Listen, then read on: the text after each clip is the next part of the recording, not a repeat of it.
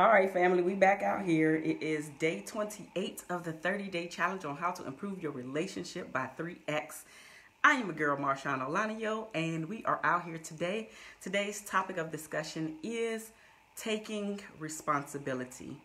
A lot of people out here, including sometimes myself, I must admit, we're out here and we're not taking responsibility of how we're showing up and who we are becoming and um, moving toward in our relationship we're not taking responsibility, y'all. We putting the blame on our spouses. We putting the blame on everybody else and why we are showing up and becoming and showcasing who we are. This person that we don't necessarily like. And that's what happens when we don't like the person that we're showing up as being. We start to throw and toss blame here, toss blame there, toss blame there. And we never look inside that mirror. Case in point, the mirror behind me. We never look inside the mirror and look at ourselves and see how we are showing up, what we are doing, and how we are participating in our relationship. It's really important to take responsibility for yourself while you're in your relationship because it is an important part of a healthy relationship. Taking responsibility in your relationship creates trust. It also creates dependability um, from your spouse looking at you and how you are showing up, how you are reacting, how you are responding when they bring something to you, whether it's whether you seeing whether you see it as it being innocent or not. They are watching the way that you are responding. And when you respond in a not so kind way, in an ignorant way, then guess what? You have a tendency, or I should say, your spouse has a tendency to come at you in a not so kind way as well. Um, taking responsibility demonstrates that you can become vulnerable. Why not become vulnerable when in this relationship that you claim to like? With this person that you claim to love. Again, if you're not being vulnerable with your spouse, then who are you becoming vulnerable with? If it, there's a fly in here. uh, because a lot of times when we're not taking responsibility, it's because we want to be right about something. It's because we want to prove our partners wrong. And really, it's just because of the bad behavior that we have out here. And so because we have this bad behavior, we don't want to say that, you know what, baby, you were actually right about say it thing. We don't want to do that. And that really does show the immaturity portion of who you are. So if you want to be a lot more mature in your relationship and take your relationship to the next level, then you really need to start taking responsibility for who you are and how you are showing up in your relationship. It actually reminds each of us when we're taking responsibility. It reminds each of us that take responsibility that we hold the power, that we actually control the role that we play within our relationship. I mean, because I, I can totally tell you about me anytime I'm not taking responsibility or I'm trying to put the blame on my spouse on why I did X, Y, and Z. That is the very time that it starts to go downhill, that things start to tank things are not going well. And then the conversation really just goes downhill. Because I want to be right. I don't want to take responsibility. I want to put the blame on. I mean, all of us do this. Have you ever done that before? Is it just me? I don't think it's just me out here. I know that it's not just me. Sometimes we just feel like we need to be a little bit childish and so we put ourselves in these situations where we are not showing our maturity. But really, you have to become the leader in your relationship. Doesn't matter the sex that you are or not. You have to continue to be the leader in your relationship. And being the leader in your relationship shows up as you taking responsibility for your actions, for your words, taking responsibility for all of the things that you're spewing out there, that you're putting out there. Because, as I said before, we can say that words do not hurt one another, but they totally do. We always say that sticks and stones may break my bones, but words can never hurt me. That, no, that's actually a lie. Words can cut you to the core. Words can make you go out there and do some things that you didn't even think that you were capable of doing. All because you want to get even some type of revenge or you just want to be like, mm, nah, I'm just I'm just gonna do what I need to do. I'm gonna do what I feel like doing. I'm not gonna be respectful. In the end, you're really not being respectful to yourself. But we think when we do that, we're actually not being respectful to our spouses, to our partners. And then we have to worry about the consequences that come from all of that. And so we have to learn to take responsibility in our relationships. When we start to take responsibility in our relationships, it actually encourages our spouse, our partners to become vulnerable as well. It encourages our spouse and our partners to open up and be um, honest with us as well and show their own vulnerability and show their true authentic self. It really is a two-way street. So it's not that you are just doing this just because. You're doing this because you want to improve your relationship. This is a way for you to improve your relationship by just taking responsibility for your actions, for the things that you are actually doing, for the way that you are showing up in your relationship, for the things that are coming out of your mouth, and you're not just putting the blame on your spouse. Or I did this because you did that. I said this because you said that. Because at the end of the day, you really have to take responsibility, which is the whole thing that we're talking about today. You have to take responsibility for the way that you're showing up and the actions that you have within your relationship. As I said the other day, at your very best, it's going to take practice, but at your very best, try to respond and not react it actually shows us the unhealthy behaviors that we can work on, the areas that we can work on. And this specifically about taking responsibility is an area that most of us can work on. Uh, Keisha says, what happened when you're taking responsibility and the other person still has not? Nope. You can't worry about what the other person's not doing because you only have control over you. You only have control over you, sis. You cannot control what your partner is or is not doing. And here's the thing. If you continue, if you continue to show up and be the woman, the man that your partner really wants to see, at some point that switch is going to click on and they will start to become a better spouse to be with. They will start to take responsibility. I'm not saying that it's going to happen overnight because a lot of times we don't think about the things that our spouses, that our partners, and the way that they grew up, the things that are deep seated within them. And we, when we get into these relation, relationships, we want our partners to be a specific way. We want them to show up in a specific manner. That's not always the case. So as much as possible, just continue to have this open, honest dialogue. Continue to bring it to his attention. I know that it could be annoying. It could be annoying to have to always tell somebody to take responsibility, but that's what we have to do. We have to call each other on our crap. And that's the honest truth. We have to continue to call each other on our crap because if you don't call him on his crap and he don't call you on your crap, then y'all gonna think that what y'all doing is the correct way to build a healthy relationship, to to to improve on your relationship, and it's not. So unfortunately, Miss Keisha, you cannot worry about what your spouse is not doing because if, if you start to think about it that way, then what you're going to do is start to react to what he is not doing or how he is showing up. Then you're going to start to go down a rabbit hole yourself. Hey, Dakisha, I see.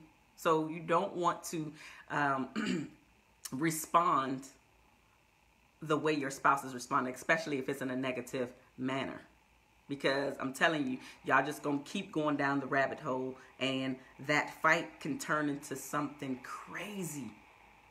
Crazy, all because you decided to basically come down to his level and do the things and react the way that he is reacting.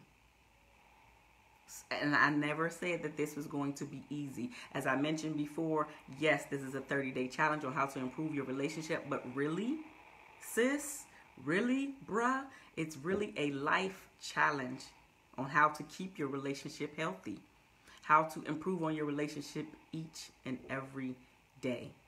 If out of these 30 days, Say, for instance, you decided to come and you came back, uh, I'm sorry, and you showed up and you started watching my videos at day 15.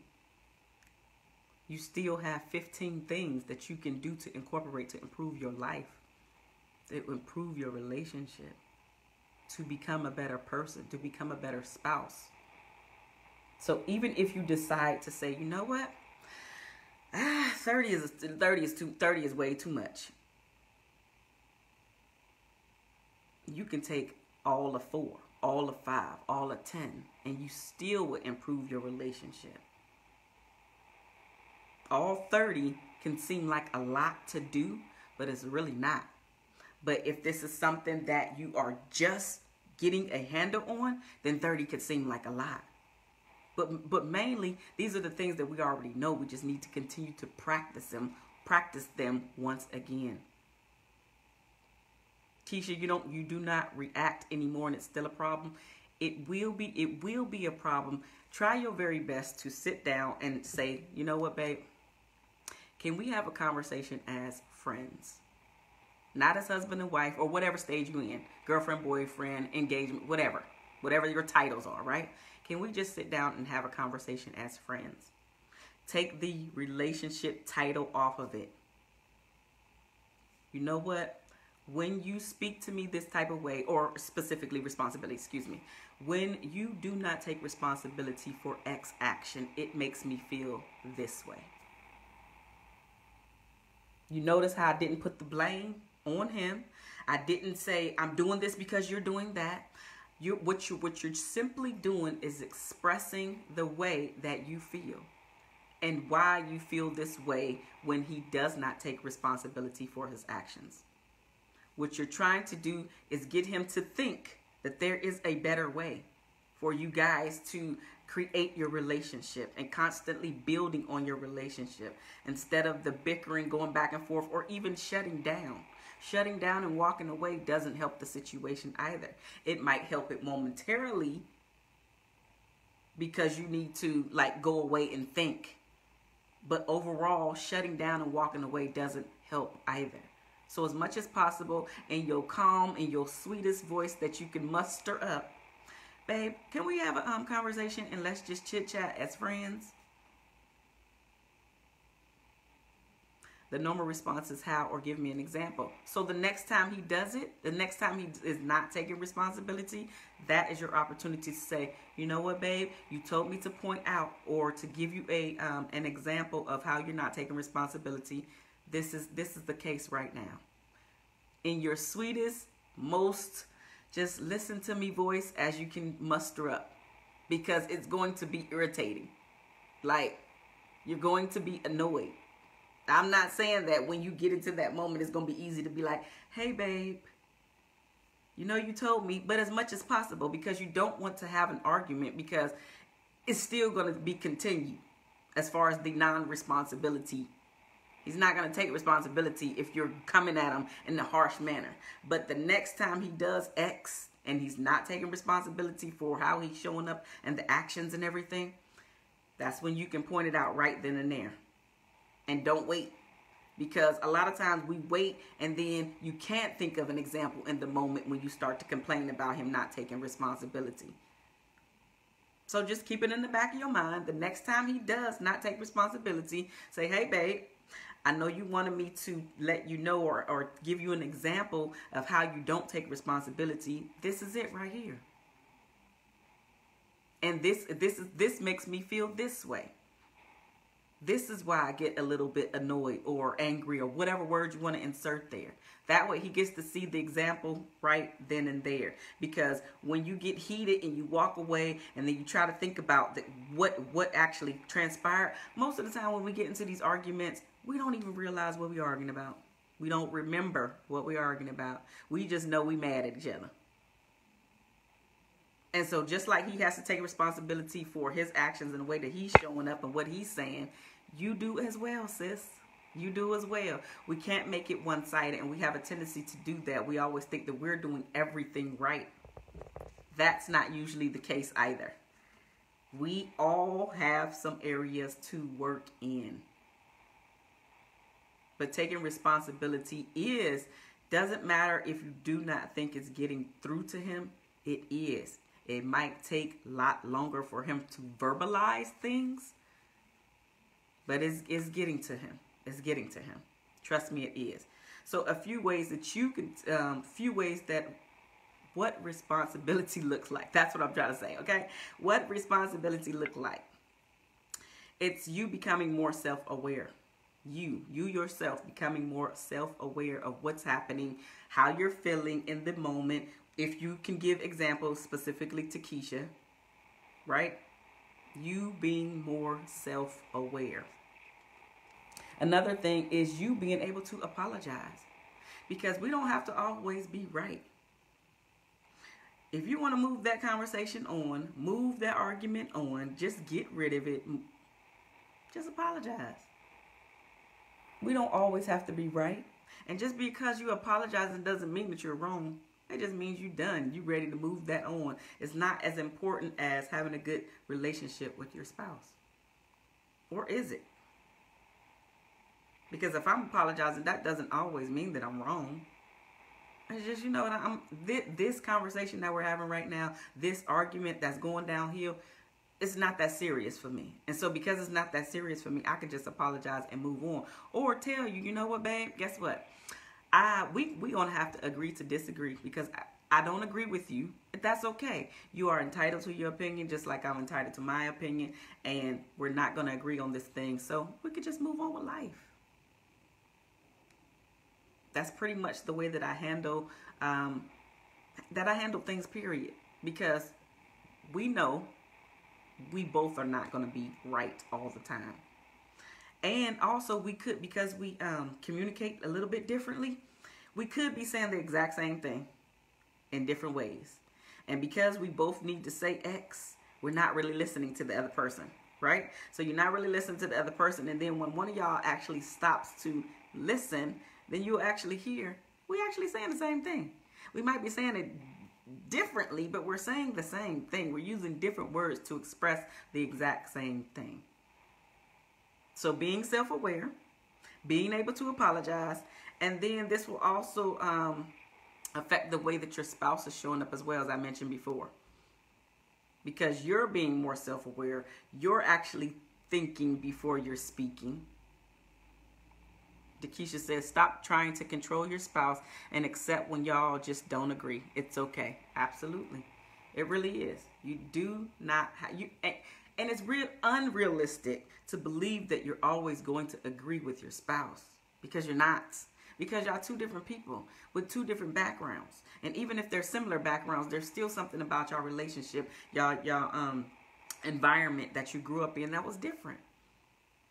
And so you're not going to see everything on the same page. And that's okay. You want somebody that's going to give you a run for your money. Because if, true, listen, listen. If you always had a person that was a yes man or a yes woman, would you really want to be a part of that relationship long term?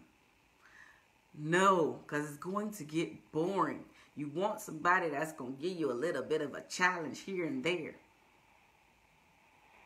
And then what do they even have a mind if they're always agreeing with you, if you're always agreeing with them?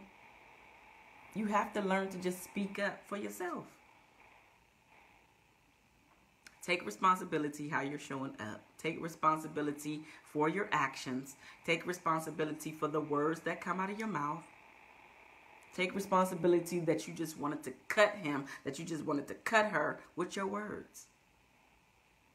Yeah, it don't, it don't sound pretty coming from somebody else on the other side. It don't sound pretty. It actually sounds pretty petty. But we get petty, don't we? We get petty. It's not just me. We get petty sometimes because we we actually lose control because we want the other person to see where we're coming from. We want the other person just to agree. How come you can't see it my way? It just doesn't always work out that way. But it's okay. It really is truly okay when it doesn't work out where you both are agreeing on every single solitary thing because again it's going to be super boring in your relationship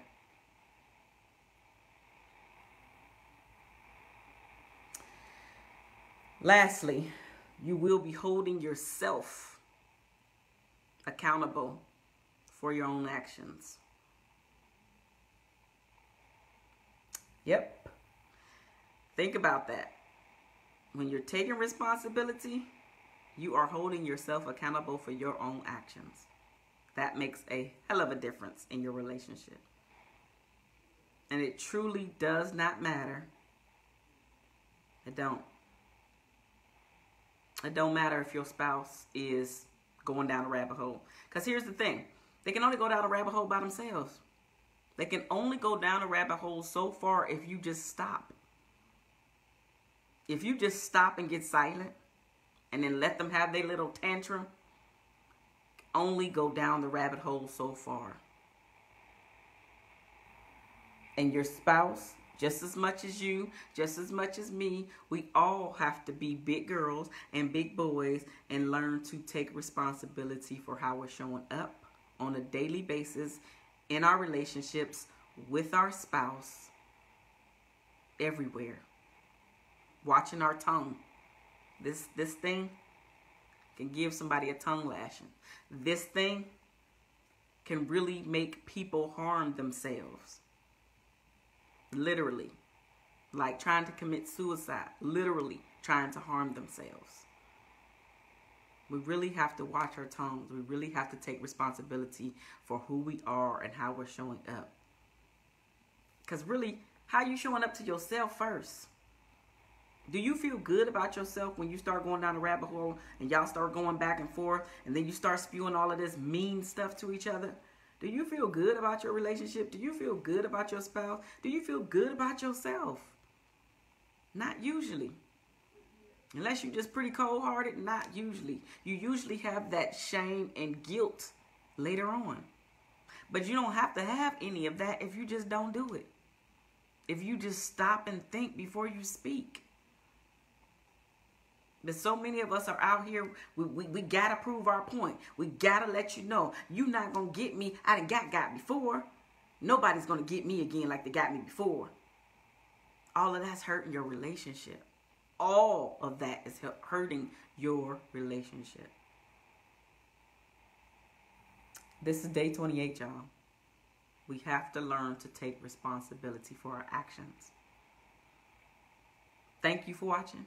I will see you guys here tomorrow for day 29. We're almost there. Day 29 tomorrow of the 30 day challenge on how to improve your relationship by 3x and really you really can prove and improve your relationship by 5 to 10x if you did all 30 things. But i get it. It could be overwhelming for some of you. So take the 3 to 5 things and start to implement them into your relationship. And guess what? Your relationship will be improved. I'll see you guys tomorrow. Have a great day deuces